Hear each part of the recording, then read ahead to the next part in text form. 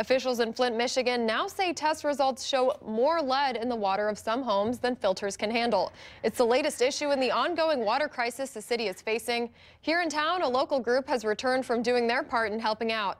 NBC 15's Jaleesa Irizarry sat down with a volunteer who delivered water from Madison to Flint earlier this week. Hey, Tim, thanks, man. Michael Johnson is no stranger to service. How many waters you need, sir?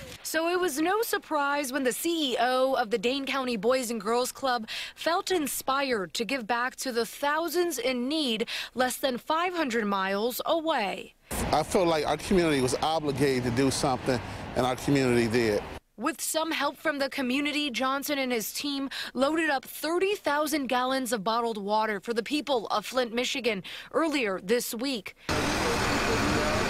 The community leader has been following the news closely, but he says seeing it for his own eyes was a completely different experience. It felt like we were in a third world country. This guy named uh, Anthony Thomas, him and his brother had been walking two miles every single day for water two miles every day for water. How does that happen?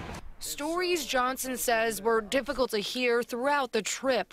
To hear another young, young lady talk about how she couldn't uh, feed her dogs that contaminated water. My, my pit has got skin coming off his back. This makes you angry. Messages that resonated with the group. I got to tell you, people cried when we knocked on their doors. They hugged us, they embraced us.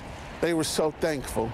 And is inspiring them to do more. Even though I felt like we did something great from this community, I feel like we could have did more. Those folks need us. We have a moral obligation uh, to help those young people, their families. In Madison, Jaleesa Irizarry, NBC 15 News.